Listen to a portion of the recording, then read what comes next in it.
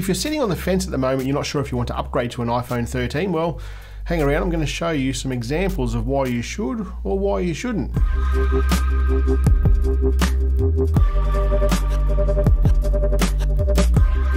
In a nutshell, if you are someone who has an iPhone that is before a 12, absolutely, it's definitely worth the upgrade. The features on this are, well, it's a huge jump. But if you're someone who has an iPhone 12, then there's a definite maybe. What we're going to look at here is, well, me as a photographer who's gone from a 12 Pro Max to a 13 Pro Max, uh, I'm going to show you what I think is some good upgrades and some good features that it's done with, and uh, some things that it really could have uh, upgraded a bit better. But I'm really keen to see what the differences are between the 12 Pro Max night mode and the 13 Pro Max night mode, both handheld and on a tripod. And we'll use the ultra wide as well because that's had an upgrade, and we'll even shoot some video, and we'll see how we go. My general feelings about upgrading this phone is that I wasn't going to do it. Um, but well, I need to make content for this channel, so I went and got one. And to be honest, I was pleasantly surprised. There are things that are doing, there's things that I'm doing on this that I just didn't think that the iPhone would ever be able to do, and it's doing it really well. Plus, you've also got that macro mode, which is, well, I think it's pretty cool.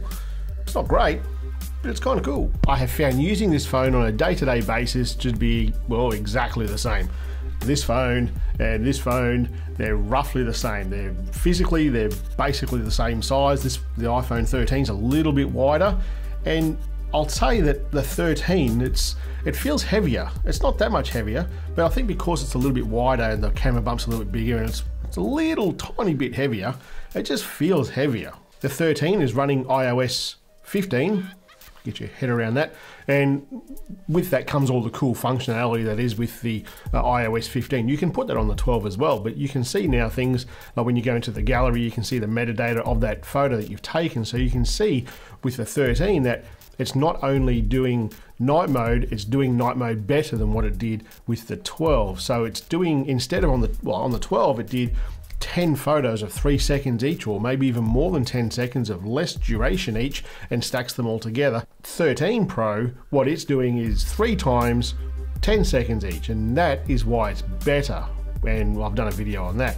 It also has that text lookup functionality that exists now on the iPhone with the iOS 15, where you can point the camera at something and it's got writing there. You can highlight that and copy that and put it into something else on the phone. So you might see a web address on a billboard, instead of typing it out, you can just point the camera at it, highlight it, put it into your browser, and uh, off you go. It's pretty cool. So I've done videos on macro and I've done videos on the cinematic mode that this phone has, so we're not going to talk about that really in this video at all. Let's go and have a look at some of these photos that I've taken. Now with the wider aperture on the iPhone 13 Pro Max or on the iPhone 13 Pro, you're going to find, well I expected to find that it's going to be better in low light situations. And Apple says it's two times, 2.2 times better. And I've got to tell you, it is. They've kind of delivered on that. Let's have a look at these two photos. Here are handheld photos first. The one on the left is the iPhone 13 Pro Max, and on the right is the 12 Pro Max. Really, there's not much in it when it comes to handheld. They're both pretty bloody close. What I did then is I put them on a tripod, went for 30 seconds, and here we start seeing the 2.2 times better. Have a look at the detail on those tractors. There's definitely more detail on the 13. Here, again, we see 2.2 times more stars that are in the sky. On the left on, on the left-hand side is the 13, on the right is the 12. Here is the ultra-wide lens. Now, they've definitely made some improvements here, but uh, really, I think Apple's still toeing the ball a bit there when it comes to ultra-wide lens with low-level photography. It, it did okay, it did better than what it did before, but it could certainly do a damn sight better. Let's have a look now in town when there was a bit more light pollution, there's like street lights and stuff, and how this affected everything. The one on the left here is the 13, the one on the right is the 12. The one on the right, it's got a lot more haze around it. That's something that I really noticed with the iPhone 12. It's a lot more haze on those lenses. They're all clean. Um, here is some shops, a bit more detail, a bit more light, and zoom that in a little bit with the 13 and zoom it in with the 12 and they basically look the same. And with the three times zoom on the left, it looks a bit better than what it does on the right with the 12. If we zoom in now at 700%, uh, this is the 12 and you can see that sign there.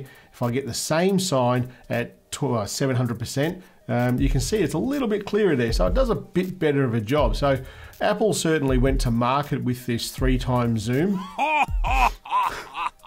I don't know why, but they did, and it's a little bit better than what it was before. A little bit. Now, along with those wider apertures, I think it's important to know um, how good it is with low light um, video as well. So I took some video in there, one with the selfie facing camera, and then I turned that around and see see what I could do as far as if I got it on my face right and did it with the uh, back facing cameras with the wide angle lens. So this is those. No cars coming.